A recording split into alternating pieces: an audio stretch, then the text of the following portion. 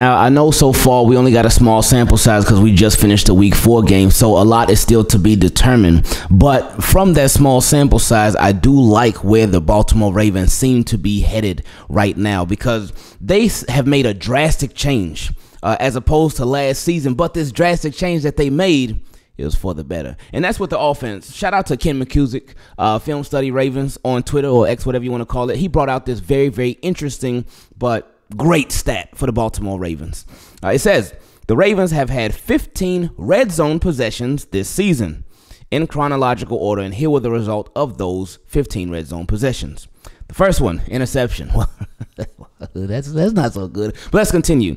Then there was a touchdown, then a touchdown, then a touchdown, then a field goal, then a touchdown, then a field goal, then a touchdown, then a touchdown, then a touchdown, then a touchdown, then a touchdown, then a touchdown, then a touchdown, then a touchdown, then a touchdown. So he said that's 91 points scored uh, and 80% of those were touchdowns. In 2022, league wide, the touchdown percentage was 56.8. So that was the average of all 32 teams. But with the Ravens in red zone scoring, uh, especially touchdown percentage, they were 44.4. So right now, again, it's only been four games, but you got to start somewhere. And this is showing that, hey, there is a difference. Don't listen like don't listen to when people say, "Oh, it's the same Baltimore Ravens offense that it was the past couple of." Don't listen to that. Even when they struggle, don't listen to because it's clearly different. You can see the difference. Yeah, sometimes the Ravens they got their hiccups, sometimes they got their little setbacks and whatnot. But again, we got to remember this offense is a work in progress. But it's nice to see that they're progressing in their work.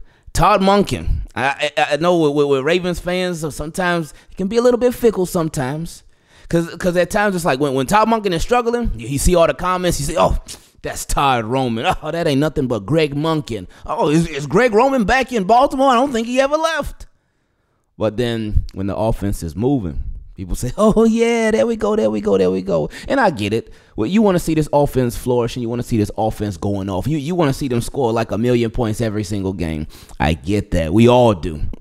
But something we still got to remember too.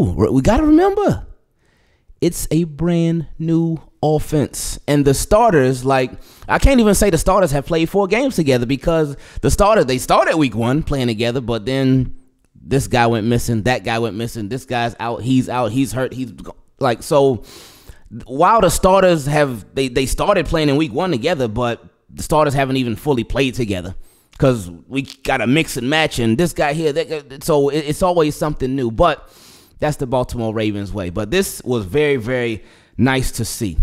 Uh, it's been very very nice to see because we remember like times in the past when the Ravens would they would move the ball They'll move the ball, and then when it came to the red zone, they'd be like, "What? Really? What's going? What's happening? What? What? What is? What are y'all doing? Do y'all not want to score? What's happening?" But now, thus far, through these first four games, we seeing the Baltimore Ravens be like, "Look, if we made it down here this far, we got to the red zone. No, no, no, we leaving here with something. We, we, we ain't we ain't just walking away with nothing. And again, to to to be at eighty percent touchdowns." For red zone. That that's great. That is great.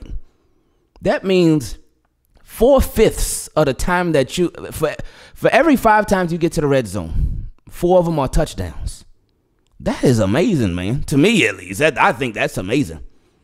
And then, of course, you, and you're still getting field goals too. So you're coming away with points. It's not wasted trips. It's not garbage trips. It's not uh, you making a blank mission. No, you're coming away with points, and that's what you got to do. Now we know this this Baltimore Ravens offense is not where we want it to be yet. It's not where they have not reached their heights. They have not, in the words of Lamar Jackson, they have not peaked yet. But they continue making these steady improvements, they continue ascending and not descending, then they're going to be in some really really good shape.